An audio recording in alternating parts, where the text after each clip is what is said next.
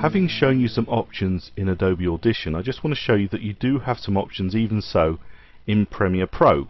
I've just expanded the audio of these multiple clips. These are just the sound of sea, so there's nothing particularly fantastic about them, but I just want to show the options that you have on a right-click basis. Now, if I right-click on a waveform, control-click on a Mac, right-click on a PC, I've got these options. We've looked at audio channels before where we can turn off channels, but I'm going to click the audio gain button and I come up with a dialog box. Now, the one that comes up as default is adjust gain by, so that I can just adjust the gain by however much I think it should go. If you click away, you can actually get hot text, so you can scrub that value. And you'll notice that set gain is matching it above. So you can actually say, right, I want to increase it by 10.3 dB. And when you do that and you click OK, the waveform is going to be amplified or, or it's going to be bigger. You'll see down here it'll look a lot bigger as it's gone up by 10.3 dB. So if I click OK, that's the end result. The problem with this approach is it's rather arbitrary. You don't really know. I'm going to Control Z to undo that and right click again. You don't really have a brilliance feedback except for what it says down here. It says the peak amplitude is minus 16.3. So if I was to put 16.3 in here, then I would make sure that my peak, my maximum peak, is going to be at zero. So if I click hold at that, you'll see that it takes the maximum peak up to zero. But that's the same as doing the next option, which is normalizing. So I'm just going to Control Z to undo that. What you can say about this particular one, when it looks as adjust gain, is you can see how far your peak is down. It's minus 16.3, so you can change it by a proportion if you want to adjust the gain. It's not something that I use a great deal, I have to be honest, um, but it's an option that you have there.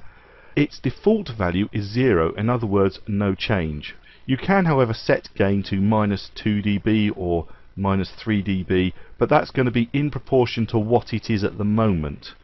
Okay, so if I was to set gain to minus 3 dB, you might have thought it would take it up to its maximum figure and then take 3 off, but actually it will be minus 3 dB from where it is. So if I take that to minus 3, in other words, 3 audible units down, and I click OK, it just shrinks the waveform a little bit, which isn't really what you often want to do. So I'm going to right click, go to audio gain and show you what you do want to play with often is these normalize options. Now normalize can be applied to one clip or multiple clips at the same time and you need to understand the difference between the two of these because these are the ones I will use more often. If I do normalize the maximum peak to zero, what I'm saying is look at the biggest peak inside this waveform and take it up to zero and amplify all the other peaks in proportion. So the waveform will look the same, just bigger. So if I click OK to that, you'll see that it takes it to as big as it can be. So it's gone up to zero, and all the other peaks have amplified in proportion to that. So I'm going to Control Z right click and go back to that option. And you can see I can normalize all the peaks to zero. Usually people don't tend to normalize to zero. They tend to normalize to minus one minus two just a little bit below. So if I was to normalize to say minus 2 dB and click OK you'll see that that is what I was talking about earlier. It's gone up to what would be a maximum of zero and then come down by two which is perhaps what we'd have thought the other option would have offered so what I'm going to do now is I'm just going to click a few clips, just to select a few clips in my timeline. Okay, so I've now got a few clips selected and I'm going to right click them and do the same option, audio gain, and normalize maximum peak to. Now this is a difference between these two. It says normalize the maximum peak. So it's going to look at all of these waveforms here and it's going to look for the largest peak of all of them which is this one here I guess. And then it's going to amplify that one up to zero and all the other ones proportionally such that the relationship between each of these waveforms is maintained. So this one's especially quiet this one's loud the relationship will be the same they will just be amplified proportionally. So if I click OK you'll see that that one indeed has gone up and this one's quite loud but the, the quiet one is still quiet in proportion to or in relation to the other one that was louder. If I Control Z to undo that and right click again, go to Audio Gain. The last option is this one, normalize all peaks to. Now this is going to look at all of the peaks in each of the clips, even the smaller ones. So this one's got this maximum peak here, and it will take that peak up to zero and the rest of the wave proportionally, as well as this one up to zero and the rest of its wave proportionally.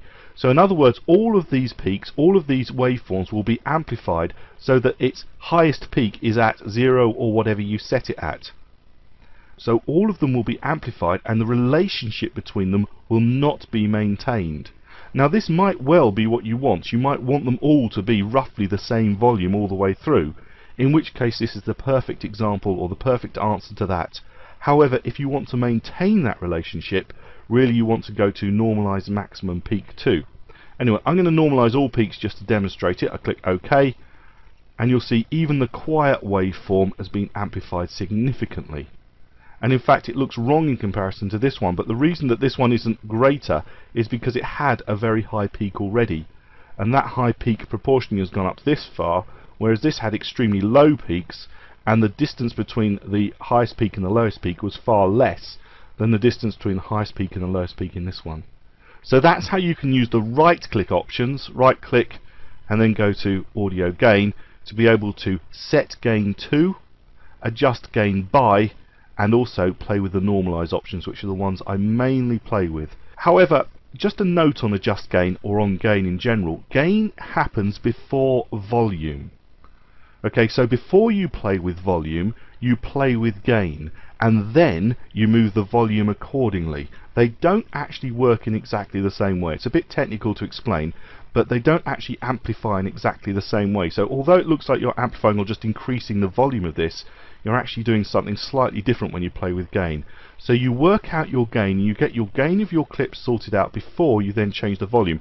Notice that this yellow bar, the volume level has not actually been changed at all, and yet the individual clips have been amplified. Okay, so these are the options that you've got. It is worth getting in there and sorting them out before you then play with volume. And of course you can always then animate your audio mixer later on if you feel that the relationships aren't quite right and you need to turn up and turn down individual clips. Or alternatively of course, just going to click OK here, or alternatively you can select an individual clip and play with its own individual volume level after the event. Okay, because if I let go of that, you'll notice that the clip itself has not changed, whereas when we were playing with gain and normalizing, the actual volume or the amplitude or the gain of the actual clip was increased whereas individually clip by clip or if you like track as a whole you can actually play with the whole track if you like and amplify it and play with it accordingly. So these are just some of the options you have in Adobe Premiere Pro for playing with audio. Obviously there's always more to learn.